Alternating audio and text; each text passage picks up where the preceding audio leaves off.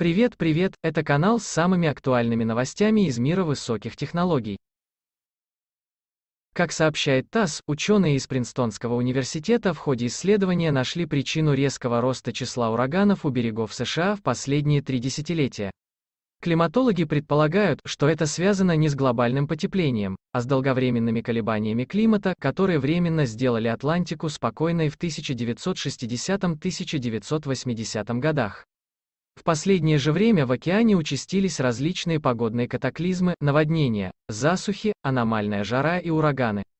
Некоторые специалисты обвиняли в этом глобальное потепление, хотя полной и детальной статистики подобных климатических явлений за последние столетия попросту нет.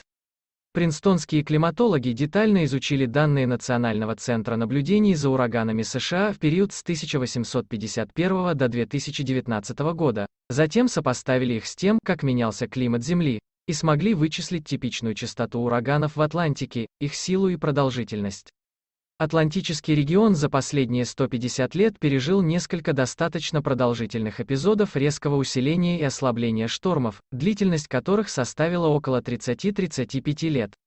В период с 1900 по 1930 и с 1960 по 1980 годы ураганы возникали достаточно редко, а в конце XIX века и в середине прошлого столетия почти так же часто, как и в нынешнее время.